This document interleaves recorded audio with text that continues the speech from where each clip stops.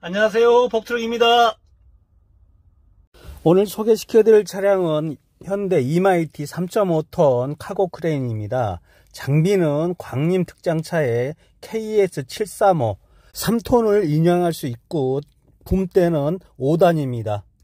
2014년 등록이고요. 주행거리는 29만 킬로입니다 슈퍼캡의 마력은 170마력입니다. 차량 상태 좋고요. 관리 상태 좋으니까 많은 문의 부탁드립니다. 감사합니다.